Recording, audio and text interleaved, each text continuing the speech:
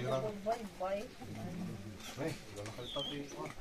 Hmm, nawan niya kurso na dayo.